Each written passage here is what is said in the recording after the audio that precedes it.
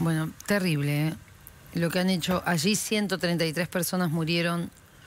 Hay por lo menos 60 en estado grave.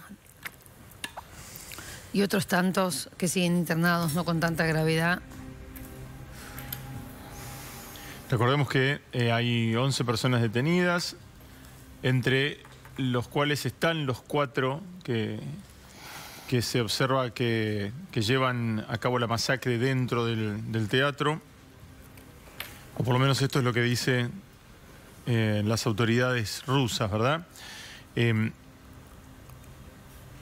y recordemos que fuentes estadounidenses dicen que eh, advirtieron a través de servicios secretos a Rusia que ISIS podía estar organizando un ataque en un eh, evento masivo y también hace dos semanas la diplomacia norteamericana había pedido a sus ciudadanos norteamericanos residentes en Rusia que evitaran conciertos y que evitaran aglomeraciones. La eh, Embajada del Reino Unido también había hecho lo mismo. Sí. Se había habido advertencias, eso hace un par de semanas. Eh, a esas advertencias, eh, Vladimir Putin había dicho que se trataba de advertencias de, chantaje. Recordemos que además estaban en un periodo preelectoral, luego fueron las elecciones, en las que eh, Vladimir Putin ganó de, punta a punta, como siempre ocurre, ¿no? En, en elecciones que están fuertemente cuestionadas por su legitimidad. Y luego llegó esta advertencia que te digo de eh, información de inteligencia, ¿no? De que ISIS podía estar organizando un ataque en un lugar masivo en, en Rusia. Ahora estamos viendo el, allí el, el- el- el peregrinar de la gente llevando flores. Ha sido muy emocionante el- la respuesta de, de la gente, ¿no? En Moscú, en este lugar. Bueno, y en, en el dolor de la gente, ¿no? Genuino, porque murió muchísimas, muchísimas personas, tres chicos. Está después toda la cuestión política. Putin que ha puesto en la mira a Ucrania. Sí. Es, es- es llamativo que Putin no habla del ISIS, que es quien se adjudicó el, el atentado, ¿no?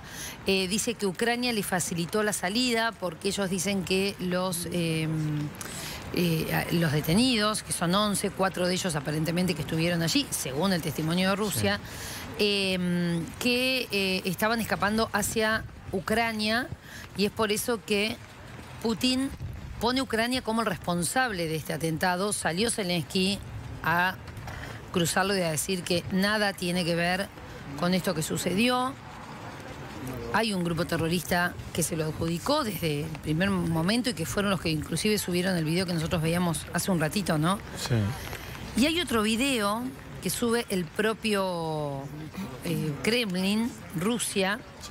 con uno de los detenidos, donde le preguntan eh, por qué lo hizo, a quién disparaste, le dicen. Y él dice a la gente. Le preguntan por qué y dice por dinero, que le pagaron medio millón de rublos. Aún no he recibido solo la mitad, dice en este video, me lo transfirieron a una tarjeta. No tuvimos tiempo para recibir el dinero, asegura este detenido que publica Rusia, ¿no? Acá, acá eh, Sí, como sí. que todo hay que tomarlo con Sí, pinzas. porque todo es una. es- son todas operaciones de información y guerra de Tal cual. información, ¿no? En las diferentes versiones que van, que van surgiendo. Porque que se hayan. eh, que se hayan dirigido hacia el sur de Rusia, ¿no? Que es la frontera con, con Ucrania, no, no, no quiere decir que, que esto que es sea un apoyado por el gobierno Ucrania. ucraniano. Claro. absolutamente. Además, hasta ahora no hay ningún vínculo entre ISIS, K y Ucrania, que se haya No. conocido, ¿no? Y se Ucrania. sepa, no.